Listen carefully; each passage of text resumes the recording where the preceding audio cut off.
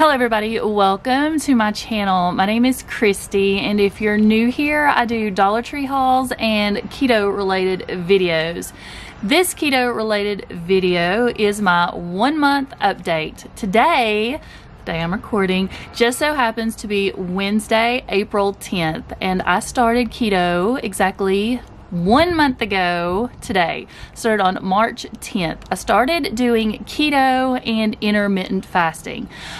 Down below in the description box, I'm going to put my Instagram name if you'd like to follow me there because I do keto pics, things that we're eating, tricks that I'm doing, and also do like family pics, just other things like that. And in the description box, I'm also going to put some links of my favorite YouTubers that I watch that have helped me figure out how to do intermittent fasting and keto so that it works for me. Of course, there's going to be a disclaimer. You know there is. I'm not a doctor. So don't take my advice. Don't do what I do unless you've spoke with yours to see if keto or intermittent fasting is a healthy way for you to lose weight. So stick around. I'm going to tell you the things that I've done. I'm going to talk about how much I lost each week and give you my complete total. I'm also going to show you one of our meals that we eat during the day. I downloaded the app Carb Manager. I plugged in all my measurements and all that good stuff. And then it gave me my numbers to help me lose weight. It gave me how many calories I needed to consume every day. It gave me how many carbs. It gave me how many grams of fat. So it made it so much easier. I've decided to combine intermittent fasting with keto and that gives me a smaller window to eat. I'm an eater, people. I could eat all day, every day, every second of the day, from the morning as soon as I open my eyes till I'm in bed and still eating. So fasting gives me some control. So I have these windows here. So I know that I can eat in these windows and then the rest of the time I need to just stay away. I do intermittent fasting about five days a week. When I first started out, I started out slow. I started out with a 16 hour fast and an eight hour eating window and I did that for several days. I worked up to an 18 hour a day fast with a six hour eating window and I would only eat about two meals and no snacking because you do not want to spike your insulin. I worked up to 20 hour fast and only a four hour eating window. And occasionally, if I have a weight loss stall, which does happen, I'll throw in a 24 hour fast and I'll start losing the weight again. And in that fast, I still drink tons of water. I do not drink any um, thing like coffee or tea. I stay away from those things.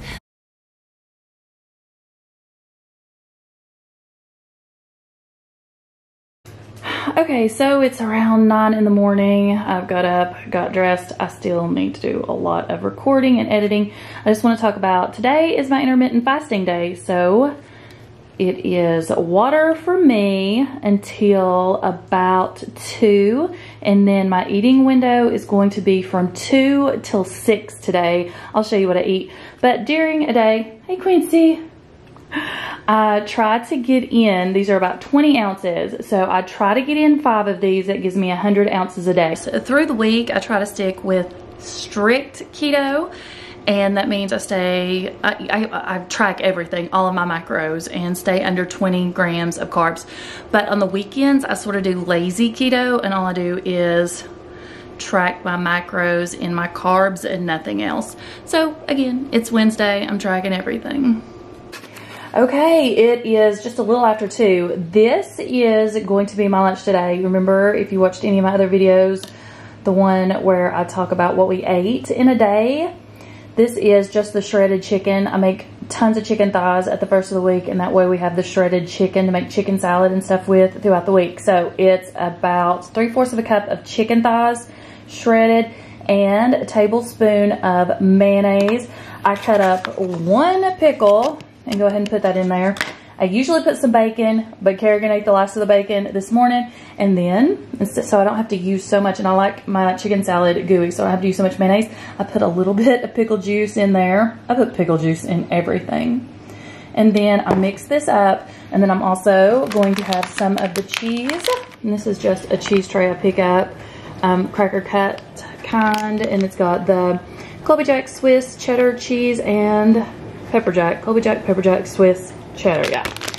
And I think none of them have carbs except for the Swiss cheese. So I'll have four pieces of cheese for some extra fat and then my chicken salad. So I'll show you what that looks like. And that's what it looks like all mixed up. I did put some of the Himalayan pink sea salt on top, fine grain, just so that I could have some extra sodium. So this is going to be lunch for today. That reminds me, excuse the dishwasher making all the noise. I wanted a few things crunchy with my chicken salad, so I took a few of these and a few of these. These are the Whisps, and I got them at Walmart. They were under $3. This is the cheddar cheese crisps, and they have the Parmesan cheese crisps too. I like the Parmesan the best. They have another variety, but the other one has sugar added. These, let me see, are nothing but cheese. So I like these, and they're good to add to a meal. Last week I cut out dairy and cheese and stuff like that, but this week I'm back to eating them. So I ate a few of these with my meal. So during my eating window, I like to have a treat and I make my own Starbucks pink drink. I ordered this off of Amazon because I can't find it anywhere here. I'll have this linked below. You get four boxes of this and each box makes six pitchers. So that's a lot of Starbucks pink drink. What I do is I just pour it over ice. I brew it ahead of time so that I have it in the refrigerator and then I just pour it over ice and then I'll add about a tablespoon of heavy whipping cream. And then you can add your keto friendly sweetener of choice. I add a little bit of swerve and then I just mix that up. So there it is, my Starbucks pink drink. I like mine a little strong. I don't add the extra water to it like they do at Starbucks. Um, even if I go to Starbucks and I get their um, passion what is it, their passion tango tea or something like that, their pink drink, I'll tell them no water. So that's it. It's absolutely delicious and I feel like I'm getting a huge treat. And again, it's a Starbucks drink dupe for a fraction. I, am talking like mere pennies. So absolutely love this. So let's talk. Today is Wednesday, like I said, and on Wednesday, Briley has extracurricular activities. So while she's doing gymnastics for an hour, I just walk through downtown. It's gorgeous scenery, tons of sidewalks. It's usually not this busy, but everybody's getting off work, I guess. I'm not done dinner yet, but let me tell you what I did do. Just to prove to you guys, I'm not perfect and I'm still new at all this. I ate a Pop-Tart. I don't even like Pop-Tarts, but there's zero sweets in the house. And the only thing I could find was a Pop-Tart. So I scarfed down a Pop-Tart. The main thing about this is just realize one mistake like that doesn't ruin your whole keto journey or whatever plan you're doing. The point is just um, get back on your journey, whether it's keto, whether it's low carb, whether it's Atkins, whatever you're doing, it's not going to ruin the whole thing. And just try to be serious about it. Everybody's going to slip up every once in a while, but I'm trying to make this a journey that lasts forever. Here is the covered bridge I showed you guys that's on my walk and this is what it looks like when you go through it. When I was young, I remember we used to still be able to drive across it. Here is like the sidewalk part where you can walk. But it's blocked off now. They're trying to keep it from deteriorating more so you can't walk. I mean, you can only walk over it. You can't drive over it anymore. So let's talk about dinner tonight. I am one of probably the last people on earth to get an air fryer.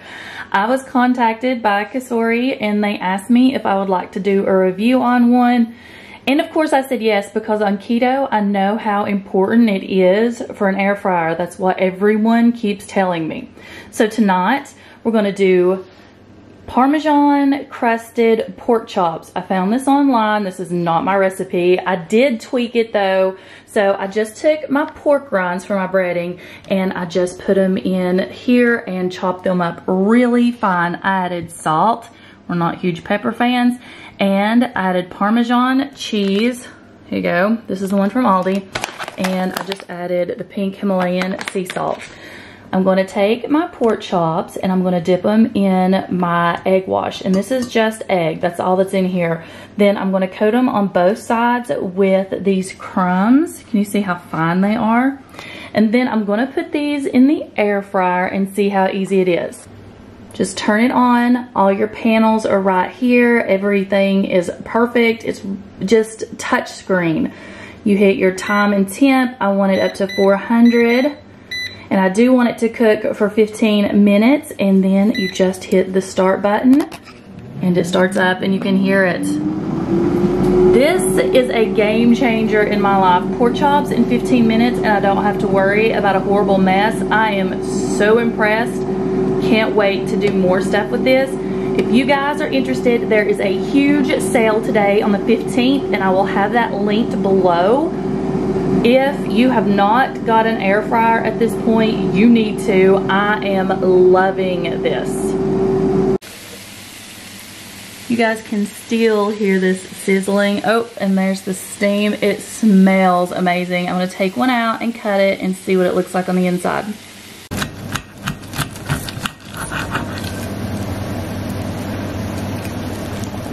Here's Kerrigan's plate. She's just having some steamed broccoli with Kerrygold butter. There's our big brick of butter. And here's my messy plate because this is the one I cut, cut open to show you guys. But this is so, I don't think you can hear it, but it's so crispy and delicious. I am definitely in love with the Cosori air fryer. Number three, the baskets are dishwasher safe. What? Dishwasher safe? This is definitely my new favorite kitchen appliance. Okay, let's talk about my totals. So weight loss for the month of keto that I have been on is a total of 21 and a half pounds. I know some of you are going to be saying like, that's not healthy. That's not good. You shouldn't lose that much weight. But my doctor is fine with this. And when you first start keto, you will lose a lot more weight at first. So the first week on keto, I lost 11 pounds. 11 pounds.